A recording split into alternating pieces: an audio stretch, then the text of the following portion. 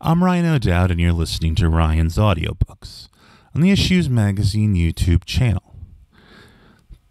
Today I continue with section 7 8 of the Chaldean Oracles of Zoroaster The World. The Maker who, operating by himself, framed the world.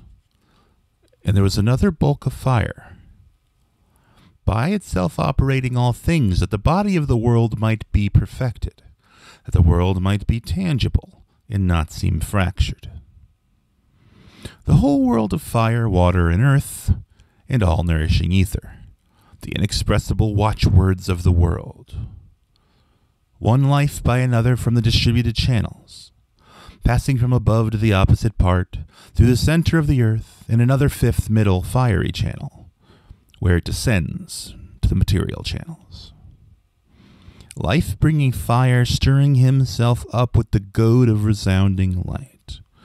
Another enlarged which guides the ethereal world. The center from which all rays, which ways soever, are equal.